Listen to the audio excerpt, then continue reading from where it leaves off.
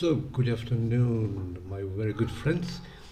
A short update of the markets. In about 45 minutes, we're going to see the new PPI data. As you see, all my indicators, nearly all of them are now in red. Uh, today, I'm making uh, trading four markets exclusively. So we have also positions in many other markets, but the most of them are in uh, midterm or uh, longer term trends as a trend follower, as I am, but also we're taking advantage in day trading. And if I trade day trading, there are specific markets. Um, my favorite one of them is, of course, Bitcoin, then NASDAQ, NASDAQ, for example, and uh, gold.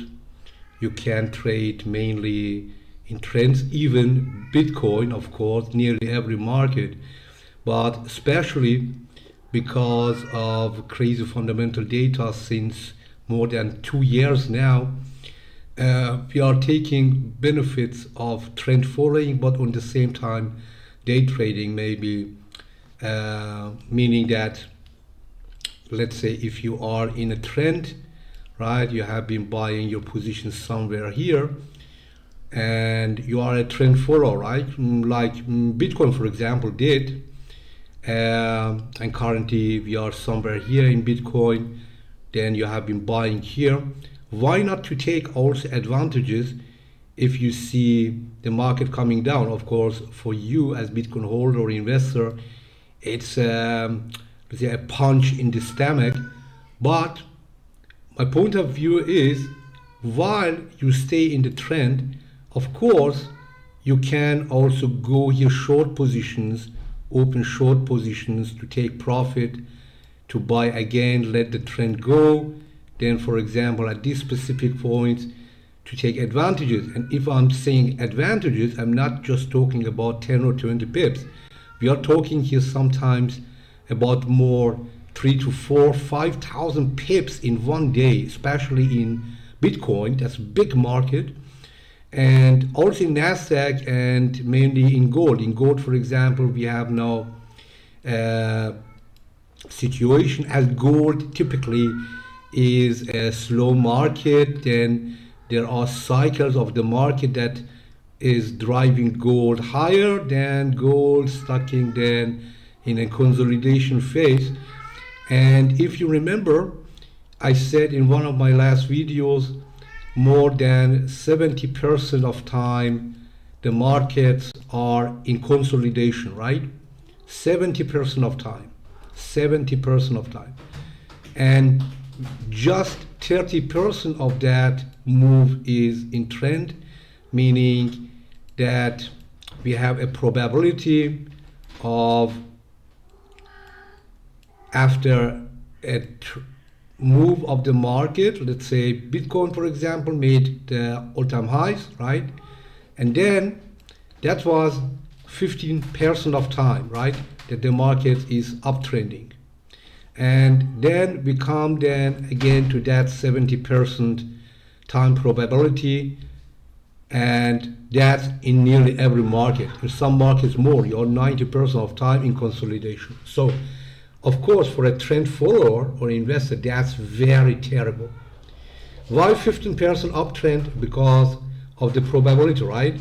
Let's say we are at 70,276 and we have just um, around 15% probability that the market goes higher, but 15% probability that the market breaks this range and that we come into a main bearish trend. And if we are in a bearish trend again, we have ups, downs, ups, downs. This is the 15%, and then somewhere the market stops and range trading. And then again, 15% probability that we go up, 15% down. So, and that's exactly my point of view.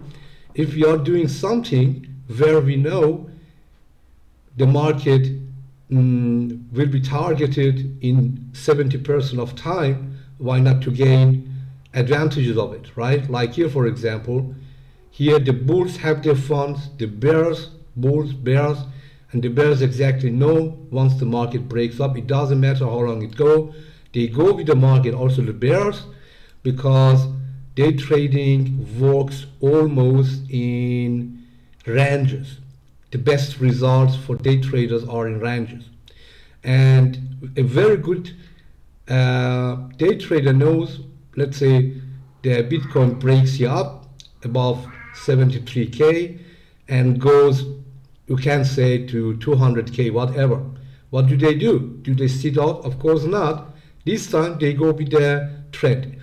This is the case where the bears and the bulls are the same opinions. Being a bearish trader does not mean that he doesn't want to make money. Of course, he wants, and he's making very good money also in bullish times. They go with their bulls, and then once the trade gains of his 70% probability, what do the bears do? Now they do what they really can do. They sell the market, right? take profit, they wait, sell the market, sell the market, and if the market breaks the support and comes back, they sell much more heavily because now that's the nature they wanna trend be down. The same do the bulls, right? Somewhere here, they go a good bullish trader also takes big money if the market is going down and then they start to buy the dips and then sell higher. But the advantage is of course much more if a resistance will be broken so they will then drive the price as much higher as they can. That's the nature. So the real good trader does it. It doesn't matter if what condition the market is they use the probability for themselves right we see here that for the first time, gold has been building very big broadening patterns, meaning, as we know, all times highs has been reached and the number of broadening patterns are increasing. It can be a very warning sign for the bulls and that some are selling now massively again the gold or the gold positions to get down Last not least, it has a good reason. After the very strong CPI of yesterday, the market made a new CPI based news low and did not hold that retrace, came back to its old value, not only in Bitcoin but also in gold, because they knew that today the second big number will be released and this is PPI this is the big brother of the PP uh, the CPI and the producer price index and also the unemployment rate. So latestly after yesterday's data the market participants the traders now have a probability that the Fed will not raise the, in, uh, the uh, will not cut the interest rates uh, with a probability of more than 90%, right? There is only less than 10% chance that in June a rate cut will happen, and after after June, the Fed will pause then somewhere around September. So this is the reason that the market is scared. We see in the main markets like gold, Nasdaq, S&P, uh, Bitcoin, and euro and oil, especially after the tensions between Iran and uh, Israel, uh, typically if there have been something very seriously, then the crude oil price must skyrocket to above 100 to 300 dollars. What's happening? Uh, these tensions are happening. Iran is threatening Israel. We will attack you because they got attacked by the Israelis. Uh, the embassy of Iran in Damascus, I think, was attacked. Uh, whatever. Uh, and now a lot of people are scared, but I am shorting oil because oil price is coming down. So to me personally, I interpreting this. This is just some media hype again. Of course, both countries have a lot of very good diplomats and they are negotiating with the help of Europeans of the United States. And that's the reason the oil price is coming down, especially old gold, gold, and what a friend told me also Bitcoin. I didn't know that, so I'm going not to mention that. That especially Iranians are trading a lot of Bitcoin, and they are paying their business deals right with uh, foreign countries and that's the reason that mm, maybe they are selling now Bitcoin to buy, for example, materials, goods, what they will need in case they get attacked by other country and uh, for uh, military defense and so on, or also some other negotiations. So we didn't uh, we don't we don't get too deep in that. But the fact was something new to me, so he gave me some documents, and uh, also I know him since many years, very uh, considerate person. So the explanations were very logic, right? And um, interesting was that about three or four years ago, I was reading an article that Iran is now is at that time or was at that time building very big Bitcoin mines and farms.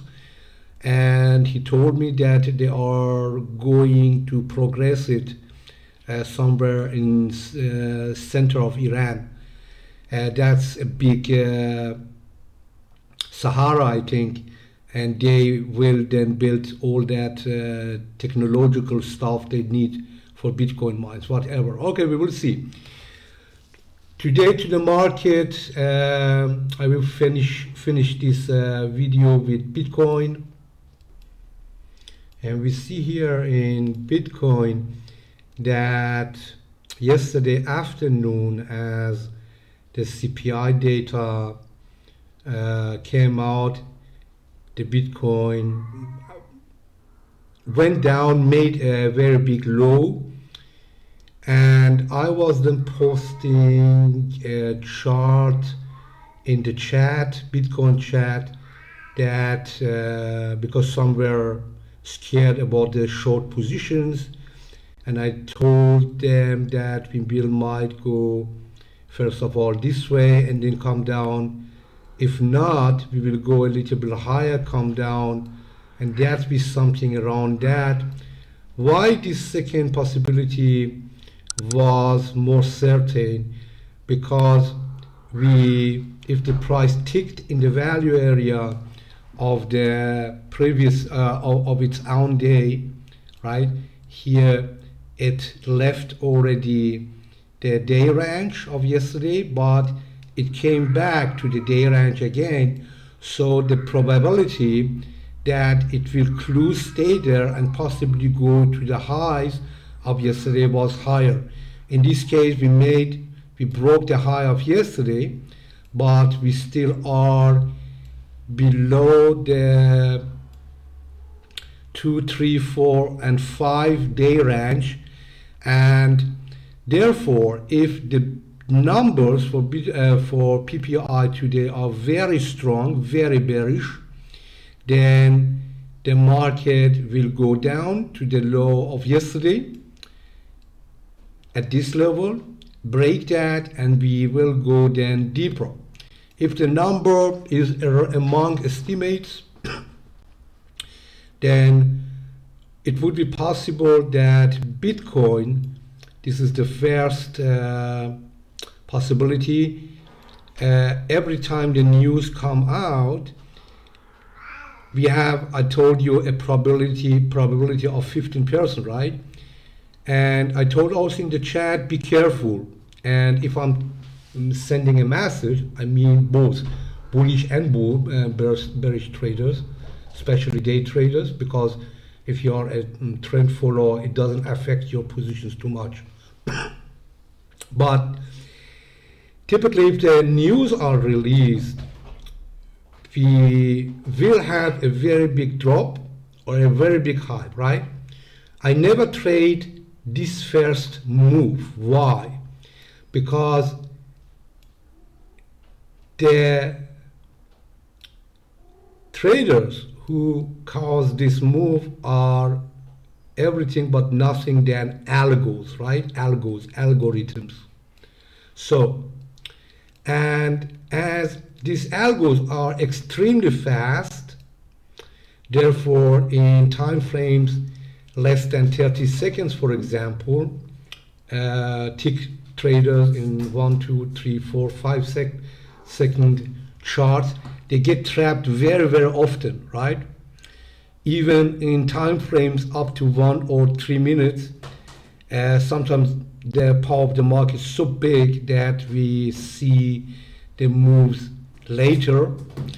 And therefore, I wait the algos because the algos typically make our scalping traders or algorithm scalping bots. They drive the market to a certain level, take profit, and then they drive the market back in that direction it should go. Let's say the news of today are extremely bullish, right? What will happen? Good news for Bitcoin, everybody goes long, but something happens, the market comes down, stops, and hits the stops. The traders now very scared and shocked, they go short, and then the market starts to consolidate. They will interpret it as a correction, and the market drops higher, higher, higher, higher, and before the trader knows what happened, he is sitting now on a very, very higher position. So, and of course, the opposite is also true.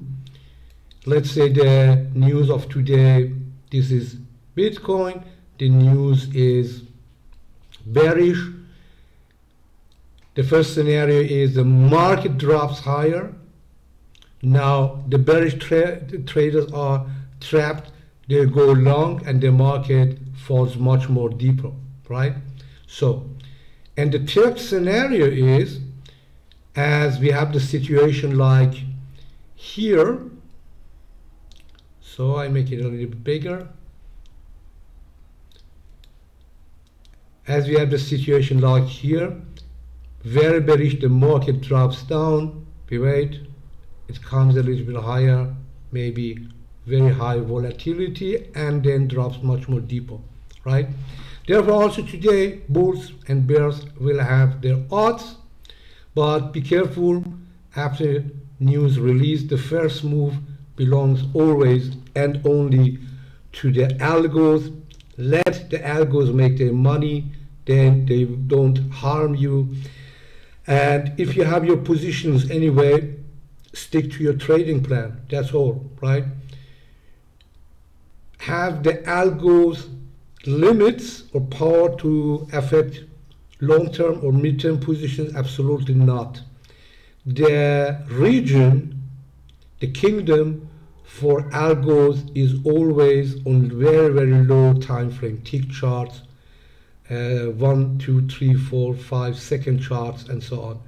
But the higher, the bigger the time frames are to trade, the less the powers of algos, right? We see, for example, here, the volatilities are caused. We can, for example, find the algos also here.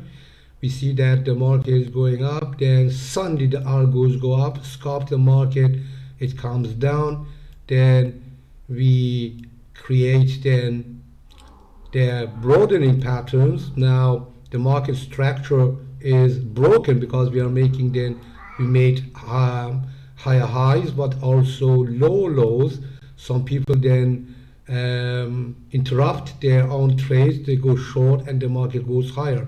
The same here the market goes higher they start to buy massively here the market struggles here coming down and we see what later happened.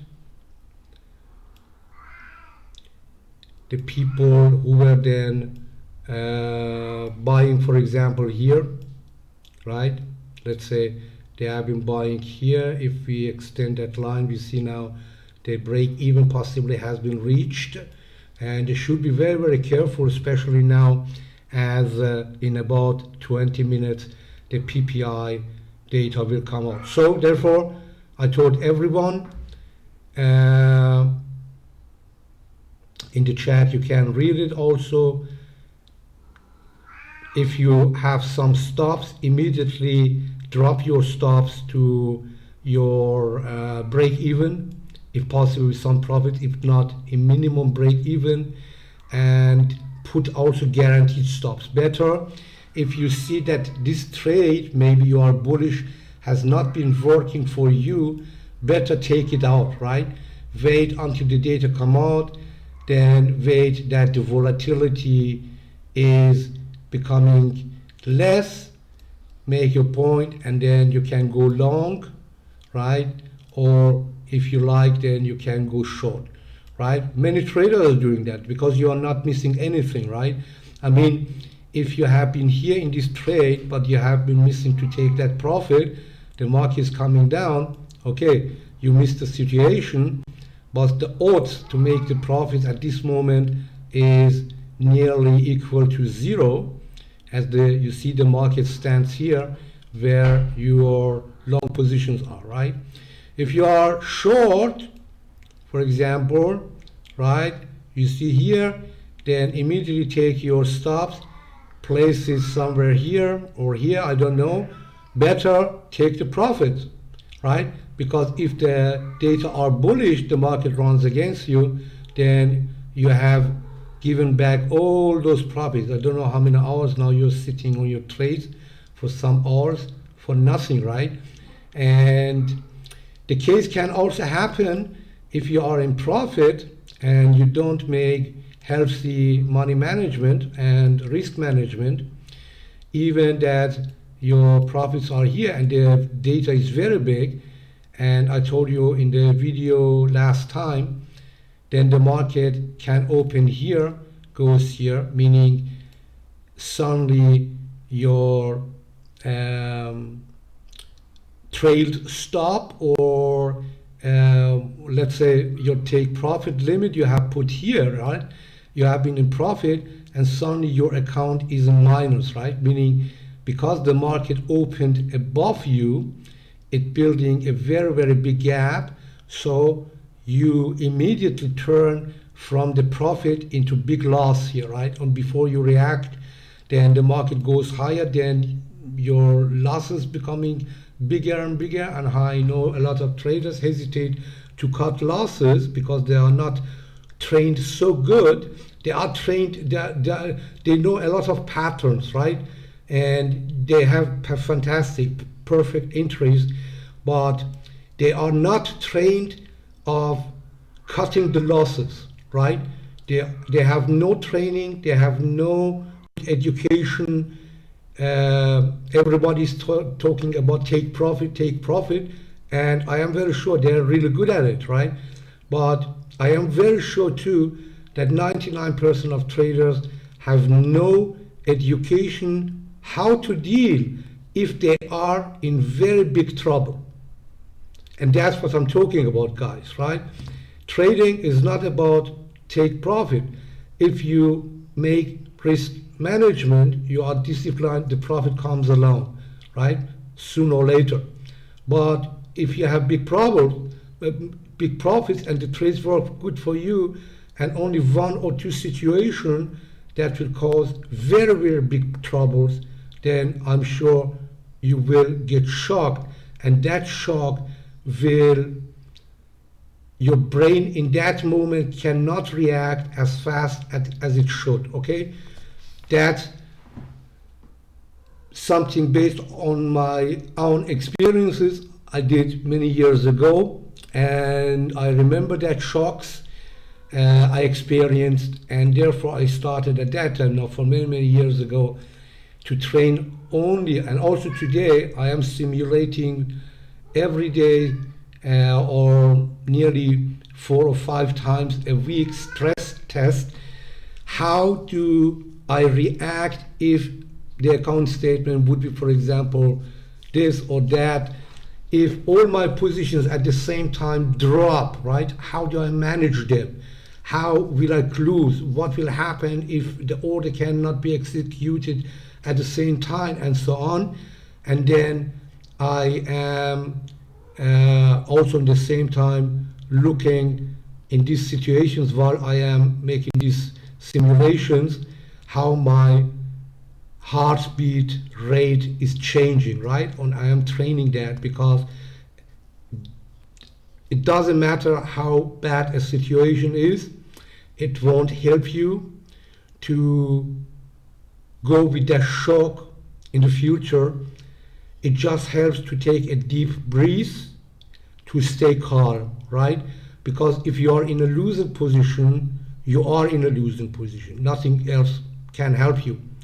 But if you are in a losing position and you, stress is rising and rising, and your heartbeat to 200, 300, whatever, well, I tell you, it is not good feeling, and the disaster can be only bigger and bigger. Okay, so I hope I could help you today because in some minutes then we are going then for PPI data. And let's see what happens right? As I told you both will have the chances. And still now many are able both bulls and the bears to finish this day just right now with profit to take the profit and then after data you will see how the market will react. Maybe we will have a consolidation also until tomorrow. The next news will be released. If you so, so you haven't been missing anything, you have taken your profit. Whether you're bullish or bearish, it doesn't matter. If you are in a small loss, then take that loss, right? It's better to take that loss than letting that loss becoming bigger, big, bigger and bigger and very, very big, so big that you will not be able to take the next trade because you have been waiting so much and the trade comes but you have not enough money for that all right and that's very very sad and angry situation. All right. I wish you're having a good day. After the markets, I try, if there is something unusual, to make a new update. Well, the trade plan is still below on my trading. Uh, so we see here, ah, okay, the gold is dropping. So I put alert, that's nice. Have a look at later. So the trade plan is here for Ethereum, for gold, Nasdaq, and uh, Bitcoin, of course. So how do you reach that? You click on my on the link below this video. Then you, you look for this uh, Bitcoin uh, chart. Don't get scared if you are bullish because I made the trade plan for both, for bulls and the bears, and you are very, very welcome, both of you. It doesn't matter if you're bullish or bearish or Bitcoin holder or uh, forever short seller. Both are very welcome to take advantage of this trade plan. Have a good day. Have a good successful day. Have a lot of fun with trading and I see you in couple of hours.